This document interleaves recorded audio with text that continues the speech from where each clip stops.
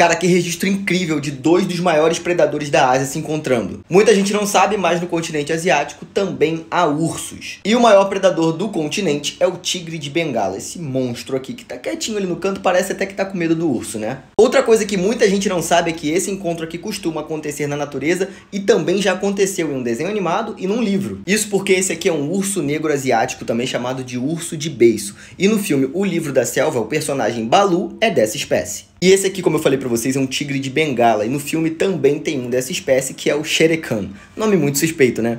E bom, como eu falei para vocês, esse embate pode acontecer na natureza porque esses animais aqui dividem o mesmo ambiente lá na Ásia. E muita gente me perguntou se o tigre realmente tem medo desse urso e se o urso venceria uma luta caso esses animais acabassem travando uma batalha ali. E bom, o que eu posso dizer para vocês é que essa batalha seria muito equilibrada, porque o urso é enorme e o tigre maior ainda. Esses ursos podem pesar até 200 quilos e medir até 1,90m de altura. Só que o tigre de bengala é o maior felino do mundo, mano. Esse bicho é muito grande, muito forte. Esses caras podem medir mais de 3 metros e pesar mais de 300 quilos se for um macho, a fêmea é um pouquinho menor e eles ainda por cima são muito rápidos e muito mais ágeis até do que o urso. E por mais que se esses caras aqui se enfrentassem a batalha seria muito equilibrada, eu apostaria no tigre, porém o urso também tem muitas chances de vencer.